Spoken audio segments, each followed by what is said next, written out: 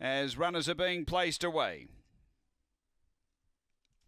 Race 11, green light on, set to run $1.75. Curls victory, so 340 in. We're ready, racing. Curls victory, step cleanly, speed outside it. Victor Maggie carved over. Curls victory got to the outside though. We'll wait and see here. Then came Colonel Trigger. Uh, next, Colden Express, and then Aston Sapporo and Bounden Baby. Victor Maggie led, moving up Curls victory, then Colonel Trigger. Victor Maggie, Curls victory, Victor Maggie lifted to beat Curls victory. Third, Colonel Trigger, and then Colden Express, Aston Sapporo and Bounden Baby. And the time here is around 19 and 50. Well, does it again.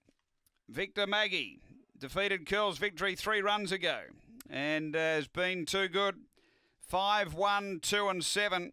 Number five, Victor Maggie first for Tony Rasmussen. Second to one, Curls Victory for Karen Nobes. And third to two, Colonel Trigger for Ray Barkler. It's uh, five, one, two. Uh, fourth after Angle Park, race number 11.